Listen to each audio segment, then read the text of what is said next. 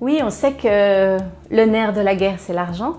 J'avais très envie, en fait, de parler de l'argent dans cet événement pour la paix. Pour moi, c'était très important. Euh, à mon sens, l'argent est une énergie, c'est-à-dire qu'elle permet simplement de faire, de faire quelque chose, d'avancer, de, c'est un moyen de locomotion en fait, euh, de locomotion d'une autre sorte. Et ce rapport à l'argent, euh, comme on dit que c'est le nerf de la guerre, il est très souvent, il n'est pas du tout pacifique. Et ce qu'il y a de bien avec Christian Junot, c'est qu'il s'est réellement posé des questions sur nos rapports à l'argent.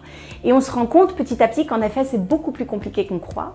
Et comme les croyances qu'on a vis-à-vis d'un phénomène ou d'une chose sont souvent euh, euh, sur notre relation avec cette chose, l'idée c'était de vraiment aller dans cet atelier, donc c'est un conférencier qui fait des ateliers partout dans le monde, c'est quelqu'un qui a vraiment l'habitude de ça, c'était de dire en fait, venez décoder votre rapport à l'argent et vous serez très étonné de voir ce que ça raconte sur vous et sur vos finances.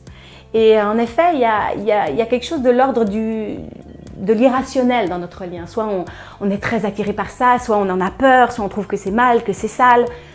C'est compliqué en fait. Et l'idée c'était vraiment de se dire peut-être que ça peut être beaucoup plus simple que ça et que cette énergie elle vient, elle part, on en a besoin. Et de lâcher quelque chose, ça permet aussi que les choses soient beaucoup plus fluides avec, euh, cette chose-là.